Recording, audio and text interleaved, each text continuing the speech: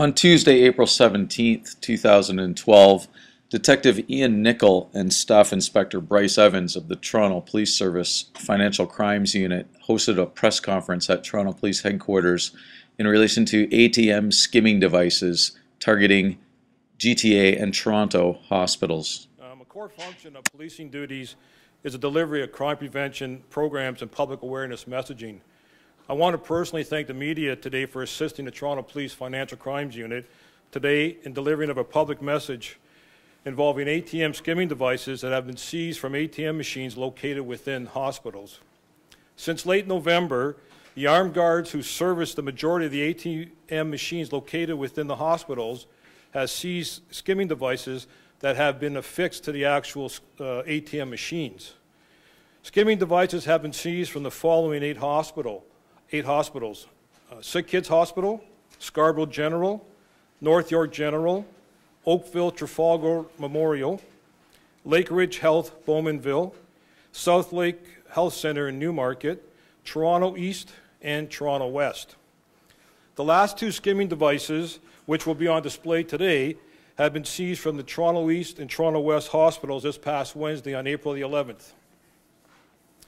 We believe that the hospitals are being targeted because of the high volume of pedestrian traffic and the fact that the ATM machines are located within open common areas.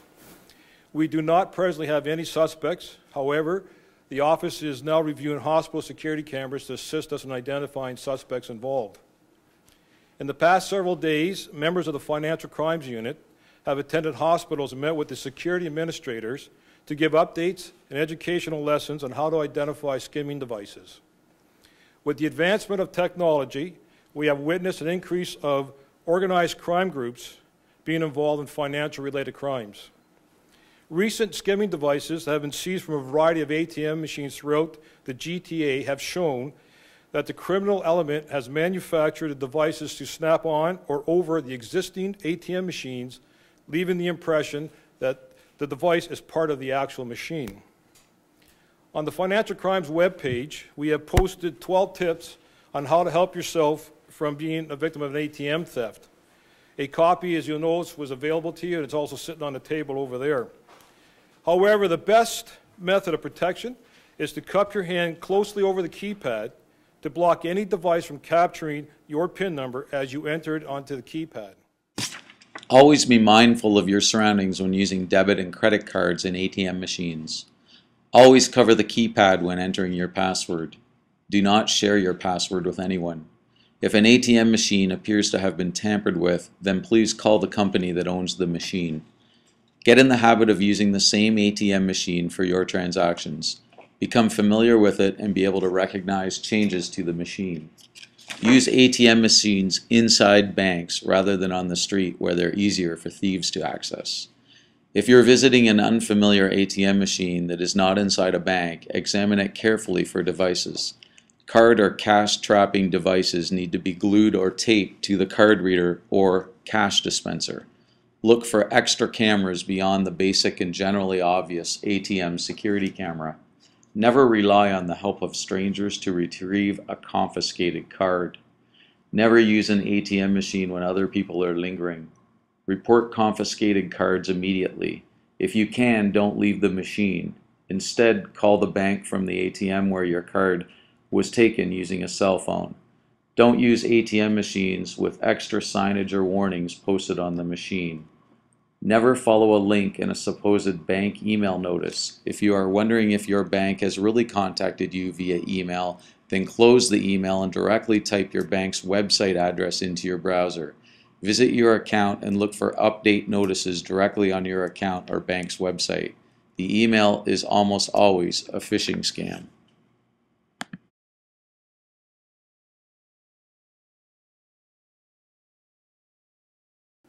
Detective Ian Nicol, who is a member of the Financial Crimes Office, is an expert in regards to skimming devices. He will now speak to you about the actual skimming devices and how they operate. These are two of the devices that have been seized recently. Uh, in, uh, in both cases, uh, these devices, both they both contain uh, a card reader device as well as a pinhole camera. Uh, the bottom of the, uh, of the device, you won't be able to notice it from your cameras, but there, there is a very small hole uh, which contains the pinhole camera. The device is affixed uh, above and to the right of the, of the pin pad on these devices, which enables the, the camera to capture the image of your personal identification number being entered. In this particular case, if you were to shield your, your, your PIN as you're entering it, you, you would be pr- protected. Uh, These devices also, they refer to them as two-in-ones because they contain both the, the card data as well as the, the pinhole video. So in, in, in the previous cases, uh, it was our experience that there would be a camera positioned somewhere above the pin pad, and then a separate card reader device would be, uh, would be attached over the, over the card reader. Uh, These days, in most cases now, we're finding that it's, it's all one device, a- as you can see here. As far as the, the technology goes, these are two of the better uh, rigs that I've seen, just in terms of the way that it's been, it's been put together. Uh, Clearly, they know what they're doing. Uh, That's all about, all I have for you, unless somebody's got any questions. Does it send information that it captures somewhere, or it's stored and they have to come and The- fit it? These particular devices, you have to retrieve them. Uh, There are, there are some cases, such as the point-of-sale terminals, where they can remotely transmit, or they can transmit to a remote location, whether it's Bluetooth, wireless, uh, cellular technology. In these cases, you, you have to retrieve the device, and they'll typically be left on for an hour or two hours, but they can be left on for longer. Uh, They're, they're limited by the, I guess, the, the size of the video card uh, that's inside in terms of their, their ability to record video for a period of time, and they're also limited by their battery power. In the case of point-of-sale terminals, uh, you don't have those restrictions because the power is provided from within the device itself. So you got a pretty good chance of catching these guys, because the window that that thing would have been attached to the machine's pretty narrow. correct? Well, certainly, you know, it, it- it's our hope that they'll appear on video. Now, sometimes they take, they take steps to, you know, to, to conceal their identity. Sometimes you'll have someone blocking, they'll pull a hat down, that sort of thing. Uh, it- It really depends on the quality of the video and, and how, what precautions these people have taken in order to conceal themselves. Detective, usually, you usually think hospitals are safe places where there's a lot of security. So how are these suspects able to go in, alter the machine, go back, pick up the equipment, like, without someone seeing them? Well, I mean, you say alter the machine, but in, in reality, I mean, if you look at these closely, you'll see there's double-sided tape. It, it's not really complicated. All you do is have to, you have to walk up and, and place the device, uh, right over top of, of the card reader. I mean, we, we've been on surveillance on, on these types of installations where in the middle of a, of an afternoon at, a- at a busy spot and the installations occurred right in front of us. And we noticed because we were watching, but other people didn't notice, you know, quite, quite clearly they didn't notice. It's, it's not hard to do.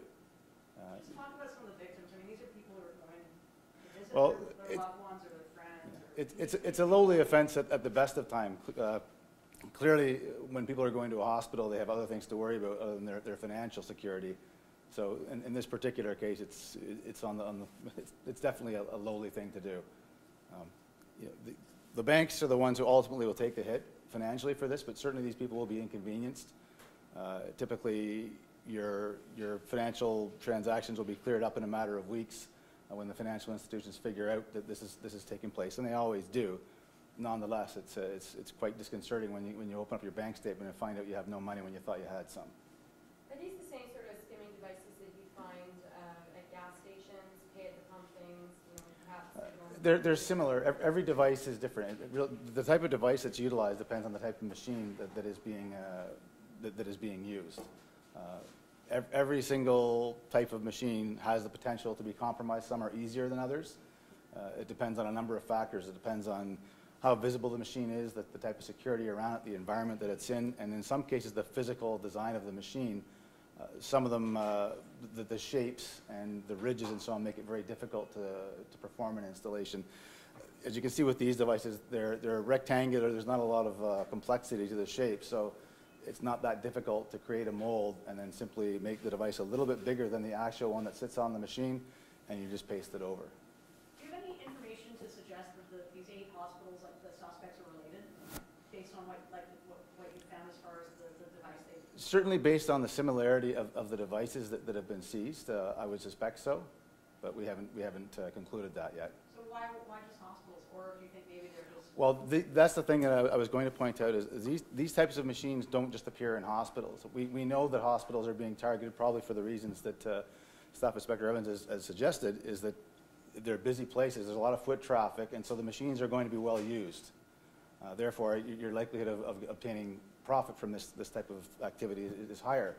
You'll find these types of machines, though, in variety stores, in restaurants, in bars.